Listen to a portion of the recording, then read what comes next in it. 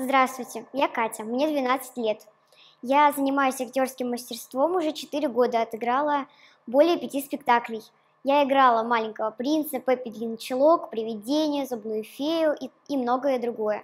Мне очень понравилось э, играть э, отрицательные роли, такие как «Привидение» э, или «Зубную фею». Э, так я могу показать там нотку юмора, своих эмоций, и зрители могут посмеяться в ответ. Мне э, нравятся более хулиганские роли, чем какие-то лирические.